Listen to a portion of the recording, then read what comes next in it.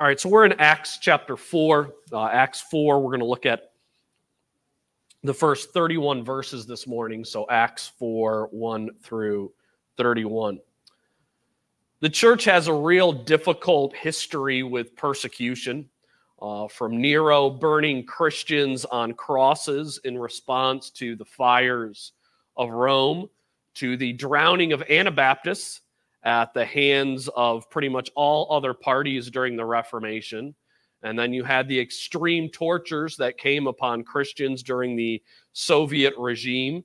And then you also have the beheadings of those for their faith in Muslim countries today. Uh, the blood of Christians has been spilled again and again and again. And this morning in Acts chapter 4, we have the privilege of looking at the first occurrence of persecution in church history, with one of the interesting notes that this is probably one of the lightest examples of persecution in history. One that probably contains some humor, even if you can spot it in there. Uh, but sadly, what we know began as light persecution on the church uh, quickly turned dark after this point. Uh, but this morning, we're going to see the first instance of persecution, which is pretty much just like a slap on the wrist. Uh, let's not forget, though, that the depth of suffering that would occur after this point uh, for those who have endured shame for the name of Jesus Christ. So we have the re- recording of this first instance of persecution in verses 1 through 4. Now, as they spoke to the people, this is Peter and John speaking to the people, the priests the captain of the temple and the Sadducees came upon them, being greatly disturbed that they taught the people and preached in Jerusalem and preached in Jesus the resurrection of the dead. And they laid hands on him and they put them in custody until the next day, for it was already evening. However, many of those who heard the word believed, and the number of the men who came to be came to be about 5,000. So, following our passage last week in Acts 3, the healing of the lame man uh, outside of the beautiful gate of the temple, uh, the massive crowd that that healing created, uh, Peter continued to proclaim Jesus Christ and the glory of his power. And I'm guessing that what we have in chapter 3 is probably just a sample size of everything that Peter said that day following that healing. And we read that while Peter's continuing to talk to the crowd, that the captain of the temple comes and lays hands on Peter and John to place them in custody. Now, the captain of the temple was not a military role, but this was actually a priestly role. The captain of the temple was known as the second uh, in command priestly position at that time. So you would have the high priest, who was the highest level of authority among the priesthood. And then second below them was the captain of the temple. And the captain of the temple had a charge to bring orderliness to the temple and also was responsible for all the activities of the temple to make sure that they would continue to go as planned. So his job was to make sure that nothing got out of order and to make sure that all the sacrifices happened when they were supposed to. Uh, he was given the power to arrest people in the temple. Uh, but it was more for the uh, purpose of crowd control if need be so it's probably no surprise that peter and john they begin to to gather around them this massive crowd in the probably outer court of the temple that they would end up being taken aside and placed in custody simply to figure out what in the world is going on here like we can't have these crowds disturbing everything in the temple. So we got to take these guys and and put them in custody just to figure out what is happening here. So this probably isn't what I would even call antagonistic persecution at this point. This is probably more just the temple of the, the captain of the temple just he needs to make sure things are running smoothly. And so these people are creating a crowd a disturbance for others. So they just gotta you know put them aside so they can figure out what is going on here. So this isn't like a harsh type of persecution uh, but a small persecution nonetheless. Uh, finally, note here that Luke tells us that 5,000 people came to believe in Jesus. I think that how it's worded, that Luke isn't saying that 5,000 people came to believe that day in the temple. But what Luke is saying is that by the time you get the end of this event with the healing of this lame man, you would have 5,000 converts in Jerusalem from the beginning of the church up to this point. So Luke is talking about the, the overall growth of the church from Pentecost to the day when this healing takes place. The church is growing, uh, it's expanding, it's up to 5,000 people. And then we have Peter and John being persecuted for the first time by spending one night in prison. Uh, most likely, that prison is probably a room in the temple itself. And then they're put on trial the next day. And we read about that in verses 5 through 12. And it came to pass on the next day that their rulers, elders, and scribes, as well as Annas the high priest, Caiaphas, John, and Alexander, and as many as were of the high priest family, were gathered together at Jerusalem. And when they had set them in the midst, they asked, by what power or by what name have you done this?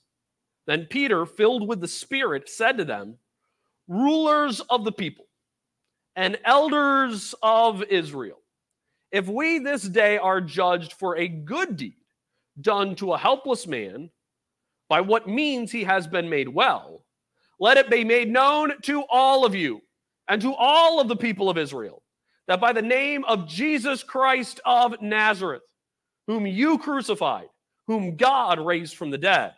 By him, this man stands here before you whole.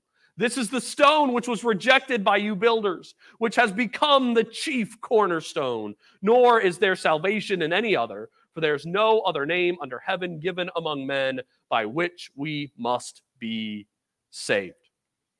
So we read here that the rulers have gathered together in order to cast a verdict against Peter and John.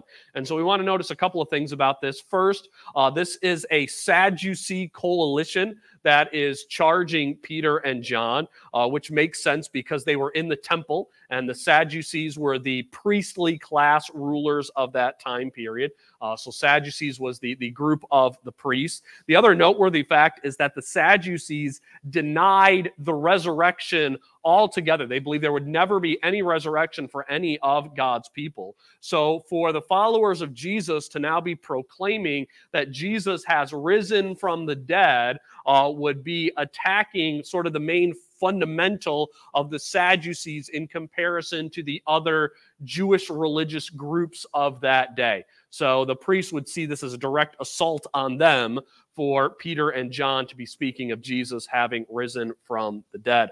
Uh, second thing, as far as who is leading over this proceeding, uh, we see that it is Annas the high priest. Uh, Annas has been high priest for several years up to this point. And then you also have his father in law, Caiaphas, there. Caiaphas was at one time the high priest, but by this point, he had not been high priest for about 20 years, um, but still functions with a lot of sway and power over his son in law, who is also who is the high priest at this time. And then the other two people who are mentioned are Alexander and John. Uh, we have no idea who this Alexander is. It's, it's a common name. Uh, could be a number of people, or it could be no one that we know of. Uh, so we can't really speculate a lot on who that Alexander could be. The probably the most likely is that John is a son of Caiaphas uh, another son of Caiaphas, because there was also a John who would be a high priest after Annas, who would serve for a couple of short period, period of time, just a couple of years. So probably most likely this John is the next high priest who's going to come after Annas, Ananias. So what's interesting is that there are actually a former high priest, the high priest, the future high priest, all there to try Peter and John. So they're bringing, you know, the most influential people of that time. Uh, but their accusation is interesting against them. It's probably what I think is the most interesting thing of this whole thing is the accusation. And that is, it's not even an accusation. They don't really even have anything to accuse them of, but really just a question, which is, who empowered you to heal this lame man? Which shows us that they didn't believe they had any standing to deny this miracle that occurred. They, they couldn't be like, oh, you're trying to throw the wool over everybody's eyes. You're trying to deceive the people. No, no, they had to go at the, the power by which the miracle happened and not even if there was a miracle. Which then to see that is then like, you're like, well, what they need to do at this point then is basically throw Peter a softball question Because if you think about it, what's the one question that Peter probably wanted to be asked going into these proceedings? The one question Peter probably wanted to be asked was, by whose power or in whose name did this miracle happen? And that's exactly what they ask to Peter. They asked Peter, What is the source of their power? And all Peter wanted to do was answer that question and to tell them that the source of their power was the name of Jesus Christ of Nazareth, by which this man was raised from the dead. And I do just want to point out that Peter Peter goes to this main point uh, that it was through Jesus that this man was healed, uh, which again would be a pretty embarrassing point for the Sadducees because what would the Sadducees say as the main point of their doctrine? There cannot be a resurrection.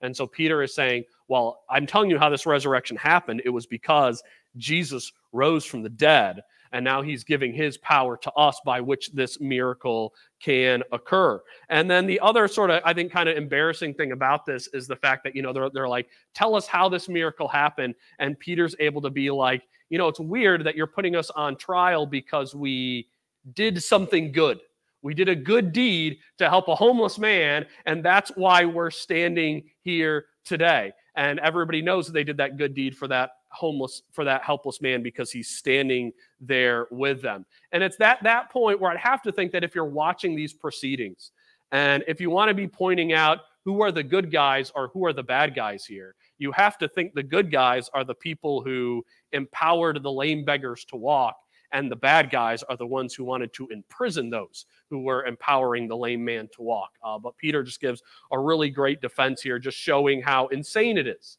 that Jesus did a miraculous work that allowed a man to walk, and now they're being put in prison because there was a beggar who couldn't walk but now walks. You should be having a celebration over what occurred and not putting these guys on trial for what happened. And then Peter gets uh, theological for just a moment as he points out the reason that Jesus was able to empower this man to walk is that Jesus is the chief cornerstone. And here he brings up Psalm 118, verse 22, that Jesus is the cornerstone that the Jews were prophesied to reject. So, Peter, by bringing up this passage in Psalm 118, verse 22, uh, points out that Jesus not only has the power to raise the dead, Jesus has the power to heal this lame man because he is the cornerstone. But by bringing up this prophecy in Psalm 118, verse 22, Peter is also able to point out that what do we see about the cornerstone in Psalm 118? And that is the cornerstone will be rejected people will trip over the cornerstone. So the fact that Jesus was rejected and hung on the cross, what should that tell you about him? That he has done what is needed to be fulfilled in order to be the cornerstone. That Jesus' death and martyrdom on the cross did not mean that Jesus was unable to be the Messiah, but it means that he actually fulfilled what would be required for him to be the Messiah. So, Peter here uh, bringing up the theological backing for Jesus to be the Messiah through Psalm 118, verse 22. Uh, but this also prepares us really for all of church history to let us know that there are going to be times uh, where people in the church are going to do good. And their doing good will not lead to them being praised or thanked or congratulated for the good that they have done, but they will be accused of doing good. They will be persecuted and mocked for doing what is right. Uh, but my hope is that if we ever come upon those moments where we do good and we have wrong that is brought to us for the good that we are done, that we will lean on the power of the Spirit uh, to speak through us in that moment. Uh, and now, in response to what Peter said, we now get the ruling of the Sadducees in verses 13 through 18. Now, when they saw the boldness of Peter and John and perceived that they were uneducated and untrained men, they marveled. And they realized that they had been with Jesus. And seeing the man who had been healed standing with them, they could say nothing against it. But when they commanded them to go aside out of the council, they conferred among themselves, saying, What shall we do to these men? For indeed, that a notable miracle has been done through them is evident to all who dwell in Jerusalem, and we cannot deny it. But so that it spreads no further among the people, let us severely threaten them that from now on they speak to no man in this name. And they called them and commanded them not to speak at all or teach in the name of Jesus. So Luke tells us here that the Sadducees recognized uh, that they were at a loss at this moment. Uh, they could not keep this trial going because they, they could see what they were doing. And in the midst of this trial, they were accusing Peter and John of doing an undeniable good deed. And they knew we, we can't we can't go this way. Like even the, the cripple that they healed is standing before them. They, they can't do that. And so in their loss of words, they made what one secular historian called the most impactful political error in human history. So one historian wrote that the Sadducees here really had three options. Their three options here were first, they could have ignored Peter and John entirely. Like this miracle could have happened with this lame man, and they just could have pretended like it never happened and totally ignored it. Uh, the second option that they had is if they really wanted to stop these people going and talking about Jesus as the Messiah, they could have just killed him. They could have taken him into the back room, killed him, ended their life, totally stopped people from speaking about Jesus. But then they took a third option, which the historian says is the worst possible option. And that option is a very light punishment. Remember, the persecution was a single night in prison. So, one night in prison and then a good, stern talking to. Any punishment that resulted in their release was the worst possible option. And the historian writes that because the apostles were not only sent back to tell more people about Jesus, but now they were sent back to tell more people about Jesus.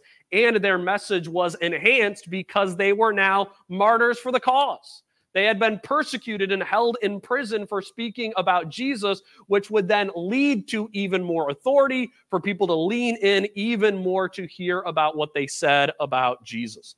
And this historian who doesn't believe in the Christian faith actually believes that this is the moment, the moment where Christianity became a movement, where this this this was like the the spark on gasoline that caused it to spread. And the reason I bring this up is to say one thing this historian realized is that there will be times when our adversaries who are against us in this world will believe that they are opposing us, silencing us, tamping down our message so that people can't do it, can't hear it. But what they're doing is actually exactly what God would want to have happen to have the message spread as quickly as possible. Our God is not only wise enough to provide us with the words to say at moments when we need to speak of Jesus Christ, to tell us what to say when we feel like I have no idea how to respond to this. But God can also use the actions of those who are opposing the gospel to further spread the gospel. So that persecution that is against us, that, you know, nobody likes to be, you know, mocked, belittled, or ridiculed for talking of Christ, but God can actually use those moments when we are shamed to actually further spread the name of Jesus Christ. And that's exactly what we see here. Because what the Sadducees did was the worst possible option for them and the best possible option for Christianity to haul Peter and John in, give them this public spectacle of a trial in the temple, and then let them go with basically no punishment. That is the worst thing they could have done, but it was also the best thing they could have done to spread the news of the resurrection of Jesus Christ and his miraculous power at this time. So God God beautifully used what the priests were doing to oppose him. We need to remember that God can continue to do the same today. And now we have the response of Peter and John uh, to their ruling in verses 19 through 22. But Peter and John answered and said to them, Whether it is right in the sight of God to listen to you more than to God, you judge. For we cannot but speak the things which we have seen or heard. So when they had further threatened them, they let them go, finding no way to punish them because of the people, since they all glorified God for what had been done. For the man was over 40 years old on whom the miracle of healing had been performed. And I think this must always be our response to any type of government censorship of the church, or if Our church even got to a point where our church was trying to censor you. Any type of government or religious censorship, we must always put the word of God and the Bible first. We must always speak of what we have read and what we have discovered and what we have believed in the Holy Scriptures, even if it is costly to us. So if the, our government ever comes to us and says, you can talk about Jesus this way, but you can't talk about Jesus that way, we must be consistent to proclaim Jesus in the way in which he is presented in the scripture. Jesus didn't die on the cross to make certain ways of salvation optional for people, but Jesus died on the cross so that he alone would be the Savior. And so we need to continue to proclaim him alone as the way, the truth, and the life. Now, I also want to say if the government is limiting your speech or your behavior in a way that is not directly related to God's word, um, at that point, it is up to your personal conscience whether or not you're going to obey the laws or the standards the, that the government has put above you. That's between you and them and, and your conscience and the Lord. But if the government's coming and they're talking to you about how you can speak about Jesus and the gospel and what is the truth in God's word, if they want to limit your speech on the word of God, you need to proclaim that I will speak of the Lord even if it will require imprisonment. I will speak of the Lord even if it will require my life. And one of the great things about being in the year 2024 and being almost 2,000 years into church history is that we not only have examples of people who have stood on the word um, of the Lord, such as Peter and John here in Acts chapter 4, but also we can look back at church history. And we have countless examples over hundreds of years of Christians who have been martyred for standing for the truth. We have second century Christians in North Africa who were cut off from their homes and driven away from society on account of their faith in Jesus Christ and we should continue to proclaim his name even today if it becomes costly because our leaders have opposed us and the gospel. Uh, the other note made by Luke here in verses 21 through 22 is also to remind us how firm the testimony was of Peter and John, that the crippled that they healed uh, was not some random guy who, who faked his healing, uh, but one of the reasons that, that the crowd was so amazed was that this beggar had been sitting outside the gate for 40 years.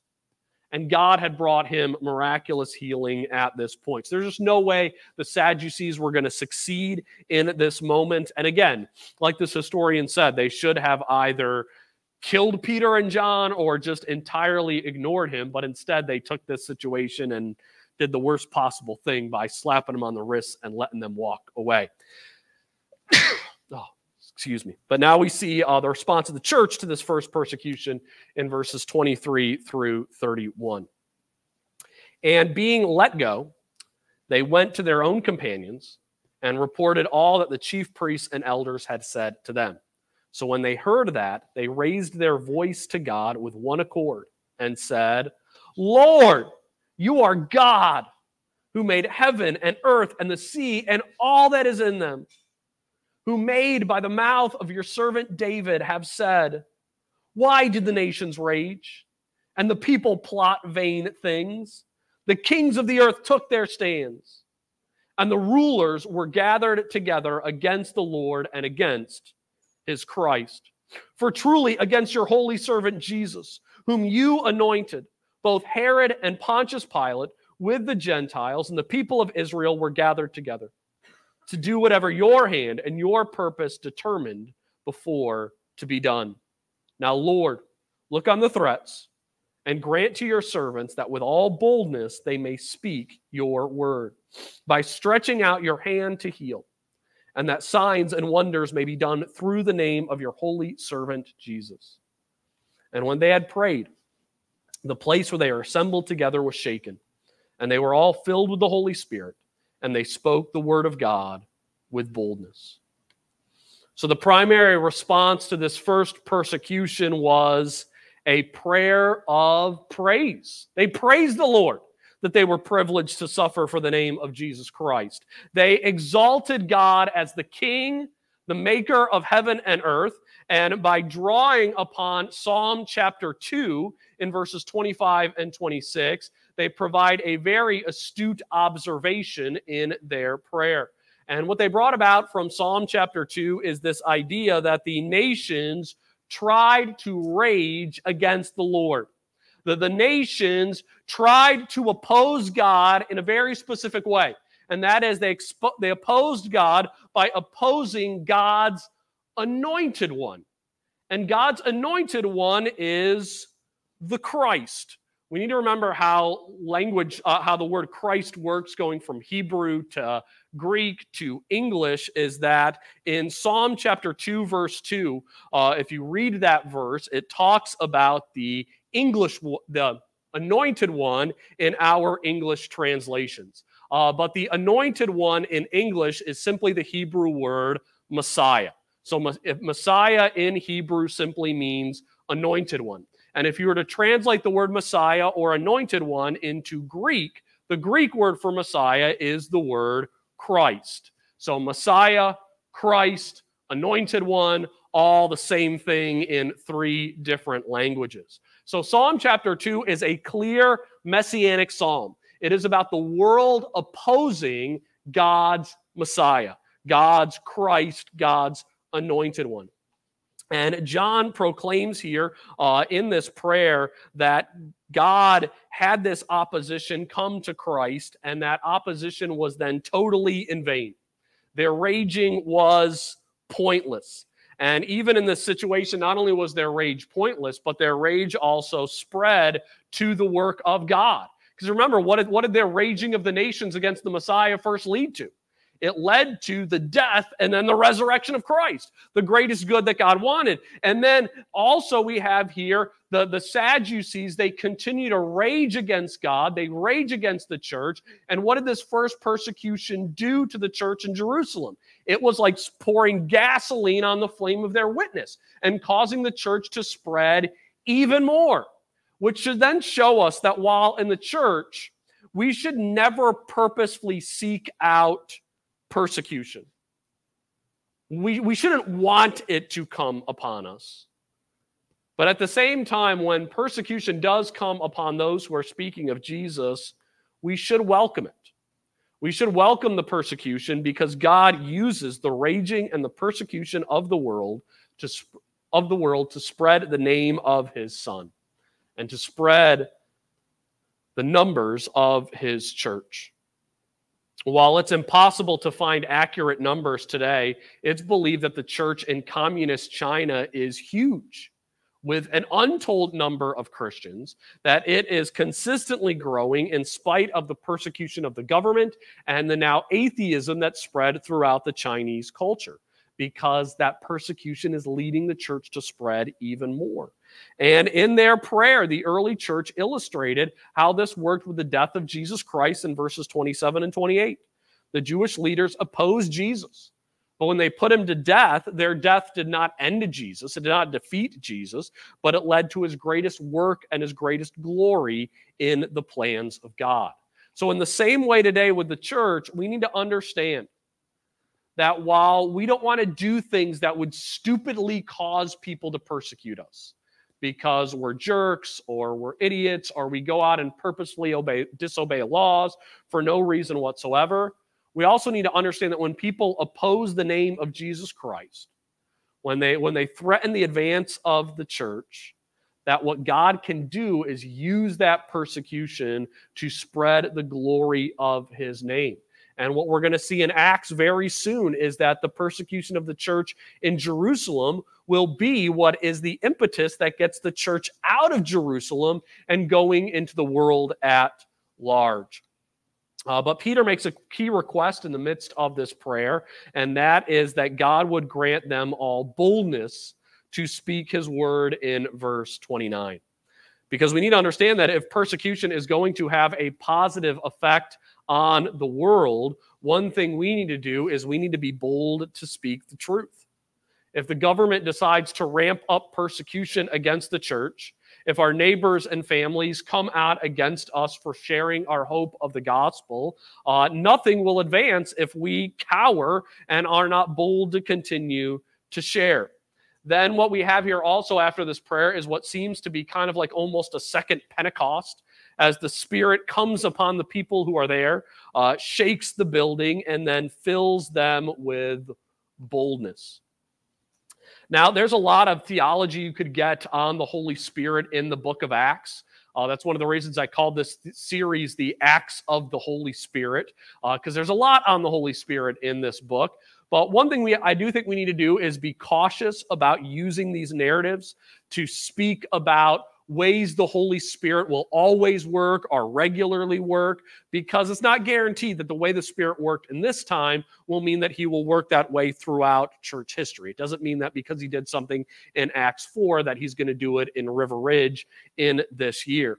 Uh, but I do believe one thing we can learn from this passage is that the Holy Spirit, who abides in every believer, who dwells in every person who believes in Jesus Christ, the Spirit does not always fill every person who is a believer. So while every person who places their faith in Jesus Christ is sealed by the Holy Spirit for the day of redemption, we're kept secure through the Spirit's working. At the same time, a believer must also submit to and call upon the Holy Spirit in order to be filled by the Holy Spirit. It's interesting when I looked up this word filled uh, in the New Testament, I expected the most often the uses to be talking about filling a pitcher or filling a jar, something with liquid. Uh, but actually, the most common time in which this word filled is used is related to emotions. People being filled with anger or filled with joy, with the idea being that you have so much of that emotion in you that what that emotion honestly ends up doing is it ends up controlling your behavior. When you're filled with anger, you end up lashing out and acting in anger in ways that would not have happened if the emotion of anger was not filling your person.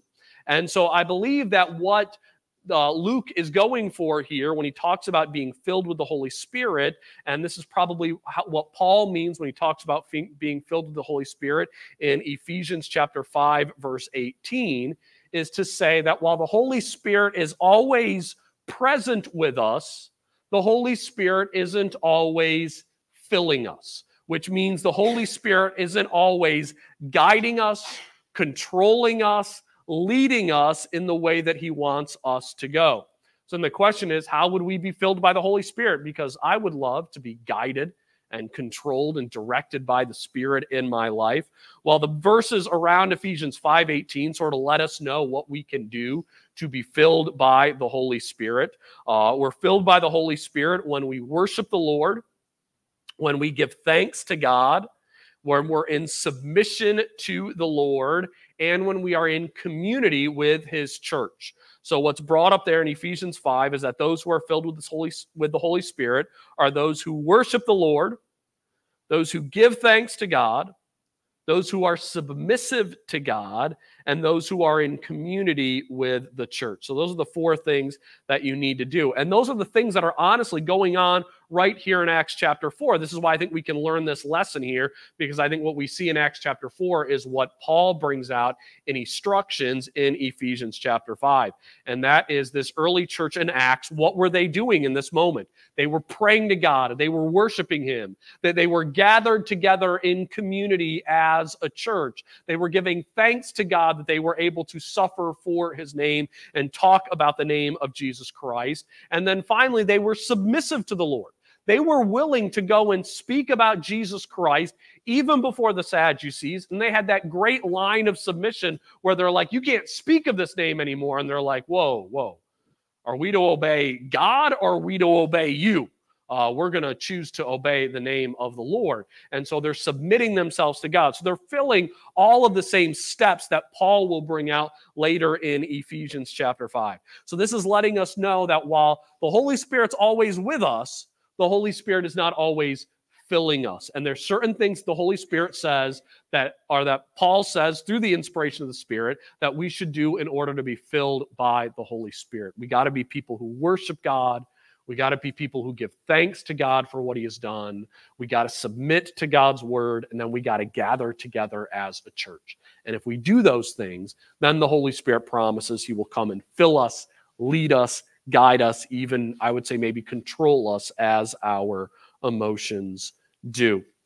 And my hope, though, is that during these times of relative safety right now, I mean, we're in River Ridge, Louisiana. Uh, I haven't had anybody come up to me midweek and be like, you know, somebody from the government came and knocked at my door and set, threatened to send me to prison uh, because I talked to my coworker about Jesus. Uh, we don't face that kind of direct physical persecution today. Uh, the persecution that we get is mostly the verbal kind. Uh, people say things that are unkind or hurtful for, to us uh, because of our faith in Jesus Christ. So, in these days of relative safety, uh, this is the time where I think we should always be preparing ourselves and being ready for those days when persecution may come. And I think there's two real basic ways to be ready for the days of persecution to come. One, we got to be people who pray for boldness. We got to follow that example of the early church and say, Lord, please help me to be bold in that day to speak of the name of your Son, Jesus Christ.